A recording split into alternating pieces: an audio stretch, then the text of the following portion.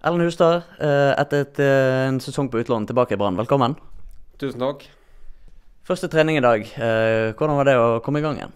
Det var veldig kjekt å møte gutta og støtteapparat. Og, og dere to, selvfølgelig. Det var en litt spesiell trening i dag, siden vi ikke kunne ha kontakt og sånn. Hva gjorde man egentlig? I dag var det litt sånn komme i gang-økt. Litt enkle sprintvarianter og litt touch på ball med pasninger. Så ganske rolig i dag. Så skal vi jo snart i gang. Det ble vel 13 mål på deg for Sandnes Ulf på lån i fjor. Nå skal du være her. Hva, hva tar du med deg fra det oppholdet der, og den spilletida du fikk, inn mot sesongen vi har i vente? Jeg tar med meg 13 skåringer og noen nazist. Så fått spilt på med litt eh, matchform og veldig klart å komme tilbake hit. Hva blir ditt eh, bidrag i år?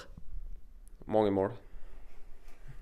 Eh, det er jo noen måneder i eh, sesongoppkjøringen nå. Eh, det er jo eh, veldig mange av supporterne våre som ikke har sett deg spille så masse for A-laget. Hva, hva type Altså hva steg har du tatt kontra når du spilte litt her tidligere?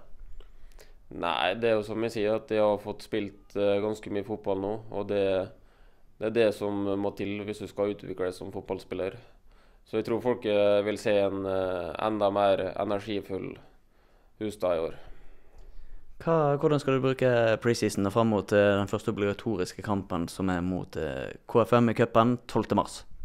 Jeg regner med Hornis har, har et skikkelig program til oss, så jeg tror vi skal komme i god form. Ja. Strålende. Straks er vi til Gran Canaria, så da, det blir bra. Det blir steika bra.